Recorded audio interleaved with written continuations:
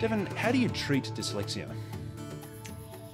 First of all, we would want to have an assessment done to determine the level of dyslexia and the um, significance of the underlying processing difficulties that we know are often um, the main issues with dyslexia.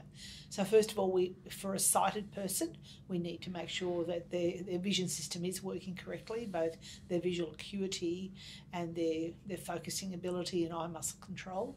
We need to make sure that they can hear correctly so that they can then better able to perceive the sounds in words. We know one of the underlying problems in dyslexia is this difficulty with analysing sounds in words, what we call phonological processing. So we would need to see what level of difficulty um, the student has in that area. And then basically, we do know, and all the research tells us, that the most effective way to treat dyslexia is to explicitly teach um, the correspondence between letters and sounds, the sequential processing of sounds and words, and whole word recognition, then developing eventually uh, onto reading fluency. Do we talk about cures? We, when we think about a cure, we usually think of that in terms of a disease. So, you know, you have a disease, uh, for example, you might have, um, uh, you know, cancer, and that can be cured with treatment. But dyslexia is not a disease. So we would never talk about a cure for, for, for dyslexia because it isn't a disease. It's a condition that is very treatable. But I think if anybody offers a cure for dyslexia, I'd be very cautious of that because we know it's treatable, but my belief is it doesn't ever really go away completely.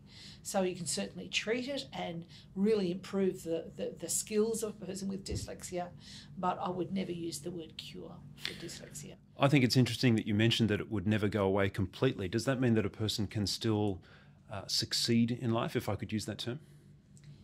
Yes, uh, and many, many, many successful people in the world today um, are known to have had dyslexia. Tom Cruise is an example, um, Kerry Packer, the, the, one of the wealthiest Australians we've ever had, was uh, reported to be dyslexic. And so dyslexia is no bar to being successful at all. Well, you've just mentioned two professions there that are uh, pretty uh, far apart from one another. Um, are there any particular professions that uh, people who suffer from dyslexia uh, can be particularly good at?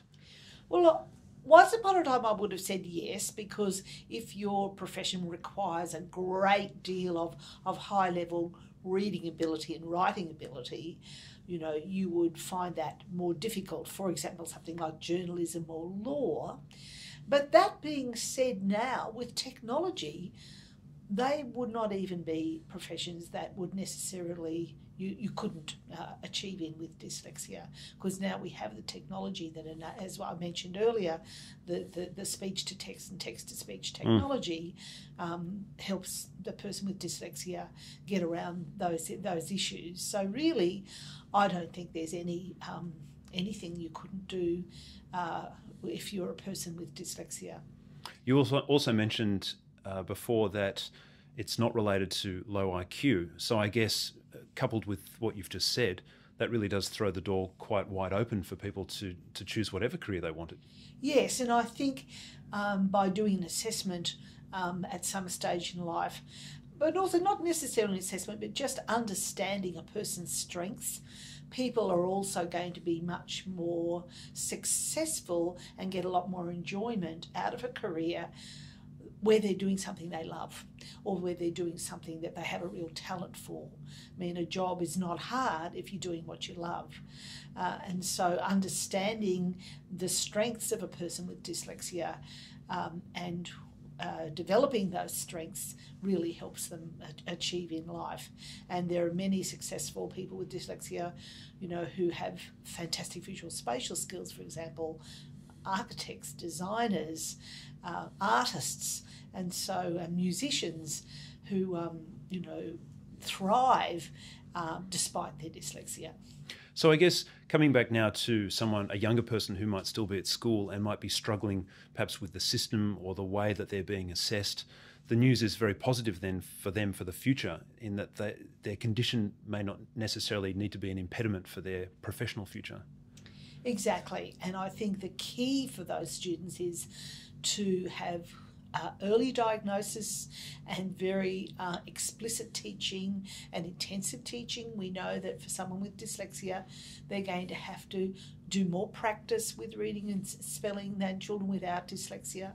I use the analogy that sometimes they have to put in a thousand times more effort for 10% of the outcome, but that is a reality for these children that they do have to work harder to develop the skills that a child without dyslexia doesn't have to do. But often that comes with great strength. I'm, I'm always amazed at the students I work with and their ability to, to keep going, to keep trying. And, you know, they know they've got to work harder, but they do it. And they just amaze me every day. That's great news, Devon. Thanks so much. Pleasure.